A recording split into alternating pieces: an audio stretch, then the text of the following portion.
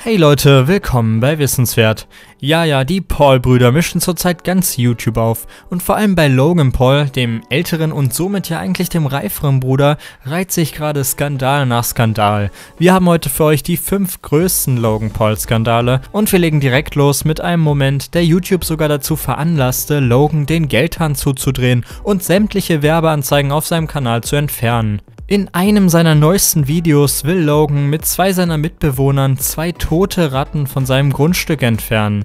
Doch statt die Kamera dafür auszustellen und sie einfach zu entsorgen, hält Logan voll drauf und macht sich einen Spaß aus der Aktion. Ihm reichen zwei tote Ratten auf der Veranda noch nicht und so holt er zusätzlich noch eine Taser-Gun raus. Damit beschießt er die bereits toten Ratten einfach. Nachdem diese dann endlich in der Mülltonne sind, beschießt sie Logan nochmal mit dem Taser.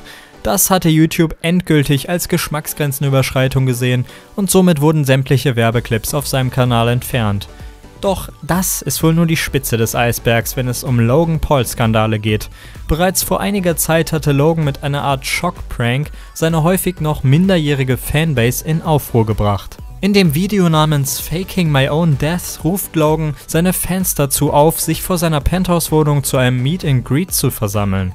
Doch statt eine Rede zu halten oder einfach nur mit seinen Fans zu interagieren, macht Logan einen wohl extrem geschmacklosen Prank. Er stellt sich vor das Fenster, wo ihn alle seine noch sehr jungen Fans sehen können und lässt sich dann von einem Kumpel, der hinter ihm steht, mit einer Fake-Shotgun erschießen.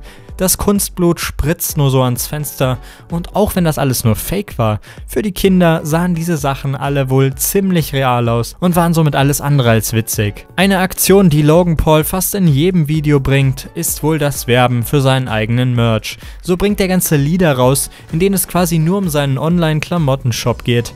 Doch einmal treibt Logan es ein bisschen zu weit mit seinem Product Placement als sein Kumpel und Vlogpartner Evan davon erzählt, wie sein Hund kürzlich starb, bekundet Logan sein Mitleid, wartet kurz ab und stellt dann wieder seine neue Merch-Kollektion vor. Kommen wir nach Japan und ja, ihr wisst wahrscheinlich, was jetzt kommen wird, aber nein, wir reden noch nicht über den Selbstmordwald. Bevor Logan nämlich das kontroverse Video brachte, hatte er zuerst einmal eine Reihe anderer Videos veröffentlicht, in denen er sich ziemlich daneben benimmt. Zuerst redet er nämlich von der japanischen Kultur und wie respektvoll die Menschen doch miteinander umgehen. Doch direkt danach beginnt schon fast eine Compilation mit Respektlosigkeiten, die es in sich haben. Er kauft sich so einen teuren Gameboy in einem Laden, nur um diesen dann anschließend im selben Geschäft wieder zu zerschmettern. Er bewirft ein fahrendes Auto mit einem Pokéball und hält anderen Leuten einfach rohen Fisch ins Gesicht. Doch der absolute Gipfel ist das Skandaltape, das ihr eh schon alle kennt, das Video im japanischen Selbstmordwald.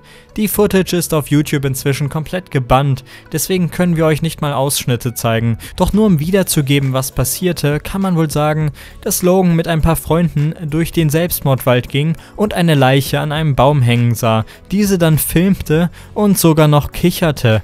Das Video ist echt sehr bizarr und an Respektlosigkeit nicht mehr zu toppen. Das war's mit unserer Liste. Fallen euch noch mehr komische Aktionen ein, die Logan Paul so gebracht hat? Schreibt sie uns mal in die Comments. Wir sind auf jeden Fall gespannt und sehen uns das nächste Mal hier auf Wissenswert. Macht's gut.